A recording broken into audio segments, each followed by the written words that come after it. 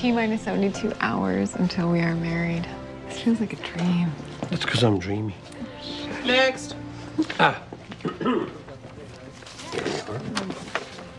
Mr. Richard Castle and Miss Katherine Beckett. That's us. Proof of divorce?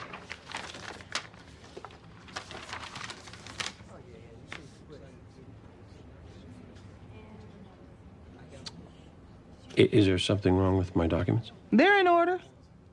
Miss Beckett, do you have yours? Pardon me?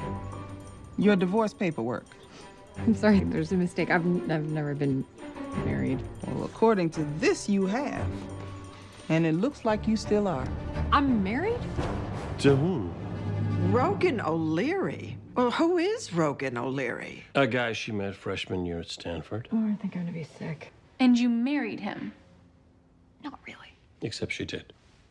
The two of them drove to Vegas, had too much to drink, and thought it would be a riot to take a cab to a drive through wedding chapel. You didn't. She did. Yeah, I did, but I never thought that it was for real. And I broke up with the guy a couple weeks later after I found out he was a compulsive liar, degenerate, and a thief. Yes, but not before you tied the knot. Here I thought you were a one and done kind of girl. Does your father know about this? I really am gonna be sick. And that'll be my lawyer. Thank you.